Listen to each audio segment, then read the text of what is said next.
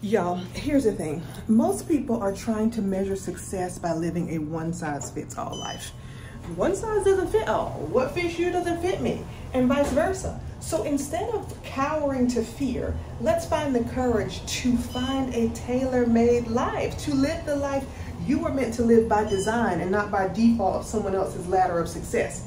It's time for you to put you first. It's time for you to get clear on your vision, to find clarity and confidence in your God given ability, and use that to continue to build a life that you love, not just something you're settling for.